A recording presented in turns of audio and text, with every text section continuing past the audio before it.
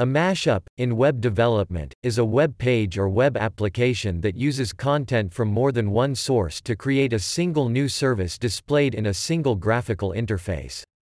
For example, a user could combine the addresses and photographs of their library branches with a Google map to create a map mashup.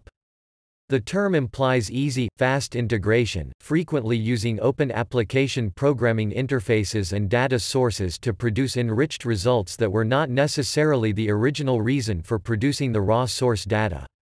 The term mashup originally comes from British, West Indies slang meaning to be intoxicated, or as a description for something or someone not functioning as intended. In recent English parlance it can refer to music, where people seamlessly combine audio from one song with the vocal track from another, thereby mashing them together to create something new. The main characteristics of a mashup are combination, visualization, and aggregation.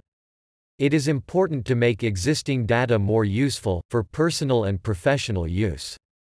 To be able to permanently access the data of other services, mashups are generally client applications or hosted online.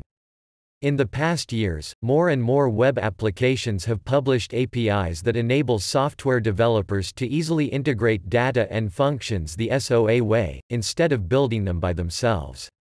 Mashups can be considered to have an active role in the evolution of social software and Web 2.0. Mashup composition tools are usually simple enough to be used by end users. They generally do not require programming skills and rather support visual wiring of GUI widgets, services and components together.